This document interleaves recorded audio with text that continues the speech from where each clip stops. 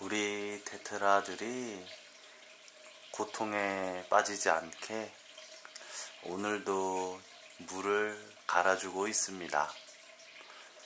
일주일에 거의 뭐 한 1회 요 정도씩 환수를 해주고 있는데요. 정말 물 생활에서 환수는 그냥 모든 문제를 해결할 수 있는 마법의 단어인 것 같습니다. 지금도 이렇게 물이 들어가니까 테트라들이 맑은 물이 흘러나오는 곳 아래에서 뭔가 행복해 보이는 것 같아요. 어저께 수초를 심을 때 그 사료들이 너무 바닥에 많이 흩어져서 오늘은 따로 먹을 걸 주지는 않았고요. 보자.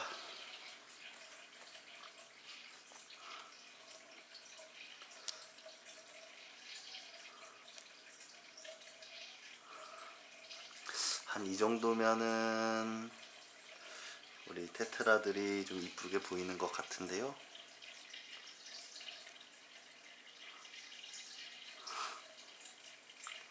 조금 더 가까이 해볼까?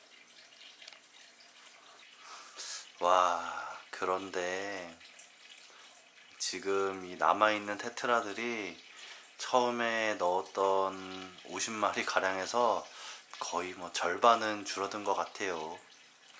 이렇게 죽고 저렇게 죽고 그런데 신기한 거는 죽어 있는 우리 테트라들을 보면 다 몸이 녹아 있었다는 것이에요. 아무래도 무슨 질병이 있나? 어, 새우가 지금 테트라에게 도전을 하고 있는 것 같은데요. 아닌가? 어저께 혼나더니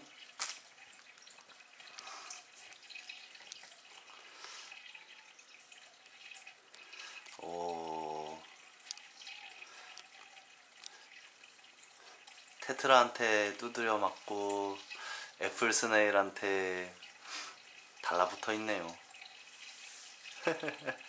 너무 귀여운데 더 가까이 가볼게요. 아 이거는 가까이 가는 걸로는 안 되고 렌즈를 다른 렌즈를 한번 바꾸어 보겠습니다. 어 가지마. 빵상